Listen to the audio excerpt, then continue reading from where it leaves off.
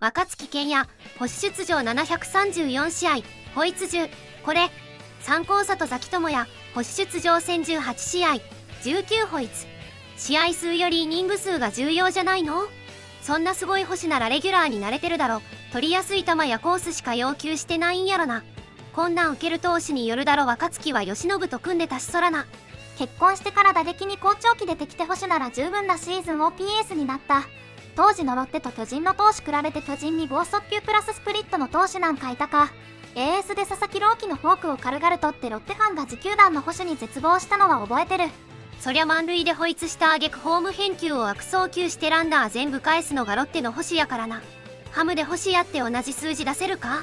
グライシンガーが巨人の星に対してかなり評価低かったな。今の監督だけど。ブライシンガーが指で自分の頭刺しながら声荒げてたのは怖かった。要するに安倍の頭おかしいって言ってたのよなあれまあ同情の余地もないけどご視聴ありがとうございました。